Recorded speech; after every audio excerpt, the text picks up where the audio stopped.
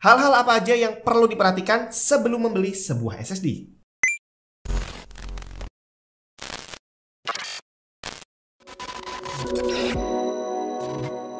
Halo semua, jadi mana? Pakai SSD udah jadi barang wajib kalau kamu pakai PC atau laptop. Kalaupun budgetnya terbatas, nggak masalah. Beli aja yang kapasitas 120 GB, at least dia bisa uh, menampung Windows dan juga beberapa program penting yang sering kamu pakai. Karena loading time yang kamu dapat dari sebuah SSD itu jauh banget dibandingin hard disk. Nah, tinggal permasalahannya kalau kita mau beli, kita harus pilih yang seperti apa. Secara ada macam-macam nih. Sama-sama 120 ternyata harganya bervariasi. Mereknya juga banyak, speknya juga macam-macam. Transfer speednya juga bervariasi. Mana yang harus kita perhatikan duluan?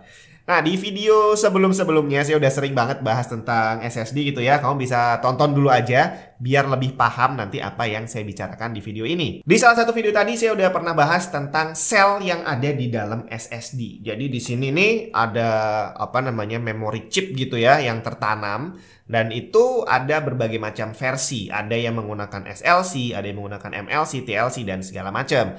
Kira-kira mana yang harus kamu pilih? Kemudian SSD ada yang pakai DRAM cache, ada juga yang enggak. Nah, mana lagi nih yang perlu dipilih? Kemudian ada lagi yang namanya TBW, Terabytes Written, atau singkatnya adalah usia dari sebuah SSD. Apakah kita perlu beli yang TBW-nya gede atau cukup yang kecil-kecilan aja? Udah gitu ada juga transfer speed-nya. SSD ini gak selalu punya transfer speed yang sama, terutama untuk NVMe.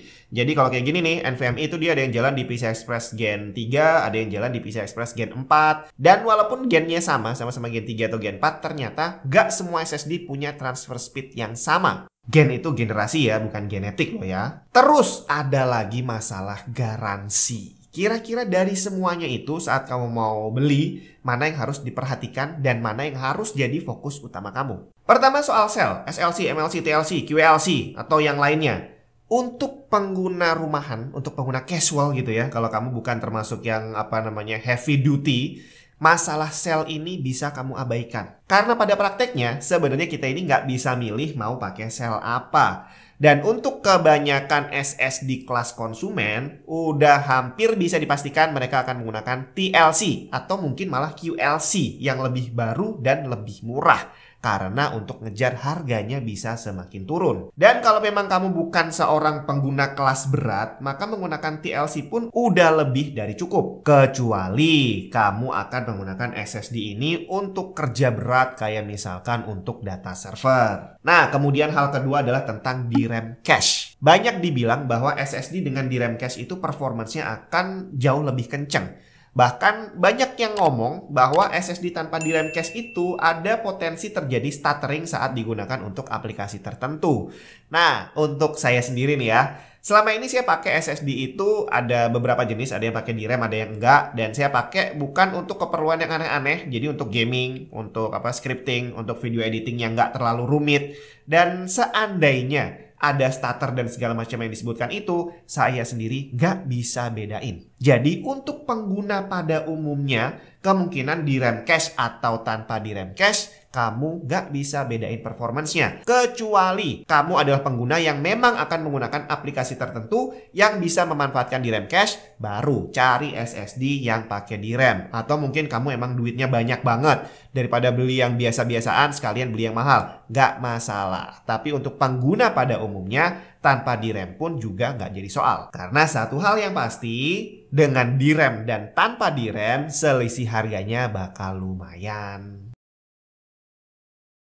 Hal berikutnya adalah TBW, Terabytes Written. Berapa banyak data yang bisa kamu masukin ke dalam sebuah SSD? Itu ada batasnya. Misalkan sebuah SSD menyebutkan dia punya batasan 130 terabyte. Artinya setelah kamu isi 130, dia akan berhenti beroperasi. Gak mau diisi data lagi. Nah, mana yang perlu kamu cari? Apakah yang terabytes-nya gede atau yang kecil? Ini juga sama, Bre. Untuk pengguna PC casual, yang pada umumnya lah ya orang pakai untuk kegiatan yang normal sehari-hari, sebenarnya TBW ini juga nggak jadi masalah. Kecuali kamu adalah orang yang memang pekerjaannya setiap hari harus ngisi data yang jumlahnya mungkin puluhan atau ratusan giga. Misalkan kamu seorang fotografer yang setiap hari kamu punya hasil kerjaan baru uh, data foto yang kapasitasnya mungkin sampai 100 GB. Dan setiap hari kamu harus masukin 100 GB ke dalam SSD. Berarti dalam waktu 10 hari aja udah keisi 1 tera gitu kan. Nah, kalau kamu pengguna yang seperti itu, perlu kamu pertimbangkan untuk cari SSD yang TBW-nya memang besar. Dan untuk masalah TBW ini, biasanya semakin besar kapasitasnya, semakin besar juga TBW-nya. Gimana kalau kamu hanya seorang gamer misalkan? Kan perlu juga TBW gede karena saat kita install game, gamenya gede bre, kapasitasnya bisa sampai 120 GB untuk satu game. Hal itu juga nggak terlalu berpengaruh terhadap TBW karena di saat kamu install walaupun 100 GB, kamu hanya melakukan itu satu kali. Kamu bakal menghapus gamenya dan mengganti dengan game baru yang 100 GB lagi itu setelah mungkin beberapa bulan dan itu pun belum tentu kamu lakukan. Kecuali kamu adalah seorang gamer yang kurang kerjaan yang setiap hari kamu nginstal game 100 GB, terus kamu hapus lagi, besok kamu install lagi 100 GB dan begitu seterusnya, baru cari yang TBW-nya gede. Kalau cuma nginstal beberapa bulan sekali, nggak masalah bre. 100 tera TBW itu udah lebih dari cukup. Terus gimana dengan transfer speed? Untuk SSD yang menggunakan jalur SATA yang biasanya punya maksimum speed sekitar 500 MB per second umumnya mereka udah bisa menggunakan kapasitas apa namanya jalur SATA-nya dengan maksimal. Jadi kamu mau cari merek apa pun biasanya speednya memang udah dipolin di 500 MB per second. Beda cerita dengan NVMe. NVMe generasi ketiga dia punya speed maksimum itu secara spesifikasi bisa mencapai 3,5 GB per second. Tapi pada prakteknya tidak semua SSD bisa mencapai angka tersebut. Ada yang cuma 2000 bahkan ada yang cuma 1000. Tergantung kualitas masing-masing SSD dan tentunya berhubungan dengan harganya. Makanya kenapa sama-sama 500 GB kok ada yang murah, ada yang mahal? Salah satunya berpengaruh adalah transfer speed. Nah, dari semua hal tadi sebenarnya yang jadi poin penting bukan tentang uh, transfernya kenceng atau enggak, TBW-nya bener atau enggak, tapi lebih kepada kejujuran pabriknya. Kalau dia bilang punya TBW 100 tera misalkan, ya berarti harus bisa dibuktikan bahwa TBW-nya memang 100 tera. Dan kalau mereka bilang transfernya bisa mencapai 2000 MB per second, berarti harus bisa dibuktikan bahwa transfer speed-nya memang bisa mencapai angka tersebut. Dan dari kedua hal ini yang paling gampang untuk dibuktikan adalah transfer speed. Kalau dia bilang 2000, kita bisa ngecek sendiri pakai PC apakah benar angkanya bisa mencapai 2000 atau enggak. Jangan salah loh, pernah kejadian sempat rame beberapa waktu lalu ada pabrikan SSD yang ketahuan memodifikasi spek. Jadi di awal mereka rilis yang batch awal-awal itu speednya tinggi. Tapi ternyata semakin ke sini speednya semakin rendah.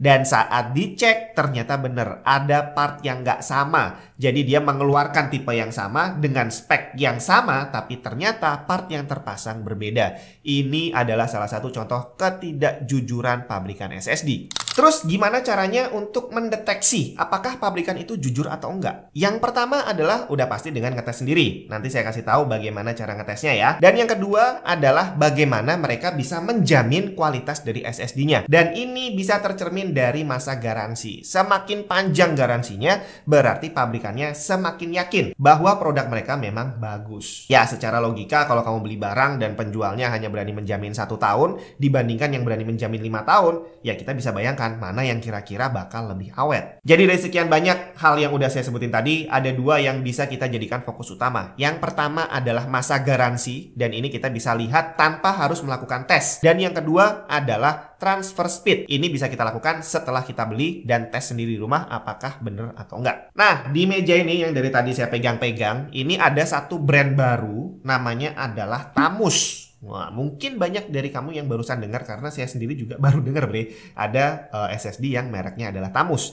Tapi ternyata saya dari awal udah lumayan kaget karena biasanya brand-brand baru gitu ya yang belum terlalu dikenal sama orang itu nggak berani kasih garansi panjang. Sedangkan si Tamus ini di boxnya udah kita bisa baca garansi 5 tahun.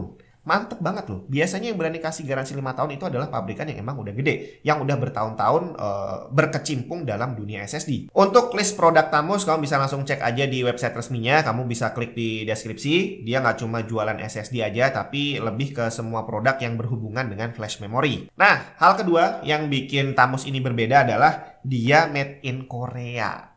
Seperti kita tahu, hampir semua barang itu made in China sekarang. Dan banyak orang yang ya tahulah kualitas dari produksi dari China itu seperti apa. Gak heran ada beberapa produk, contohnya adalah power supply, yang akhirnya bukan lagi menonjolkan apa namanya merek, tapi menonjolkan negaranya. Power supply ex Korea. Berarti udah banyak orang juga yang yakin bahwa buatan Korea itu lebih bagus daripada buatan China. Nah, si Tamus ini dia betul-betul diproduksi di Korea. Bukan apa desain di Korea terus produce by China, bukan. Semuanya dikerjakan di Korea. Nah, sekarang kita masuk ke kejujuran tadi. Apakah dengan dia buatan Korea terus berani kasih garansi 5 tahun, artinya dia jujur dengan spek yang tertulis? Kita coba buktiin.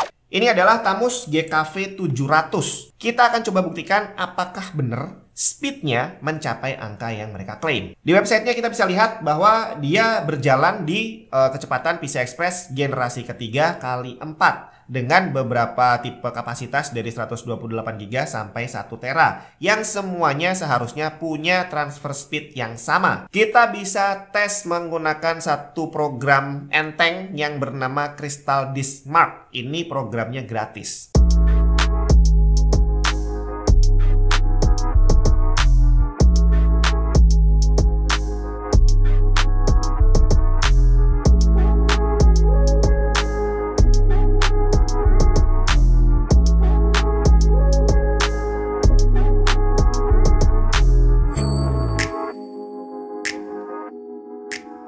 Itu tadi adalah hasil testing transfer speed. Sekarang gimana dengan usianya? Biasanya pabrikan SSD itu mencantumkan dalam bentuk TBW yang tadi udah kita bahas, tapi ternyata uh, Tamus ini tidak mencantumkan TBW-nya, tapi ditulis dalam bentuk MTBF, Mean Time Between Failure. Ini udah saya bahas di salah satu video yang tadi, kamu cek aja. Tapi di situ uh, MTBF satu setengah juta jam itu bukan berarti uh, eh, SSD ini punya daya tahan sampai satu setengah juta jam pemakaian. Itu berarti sekitar 171 tahun. Jelas nggak mungkin.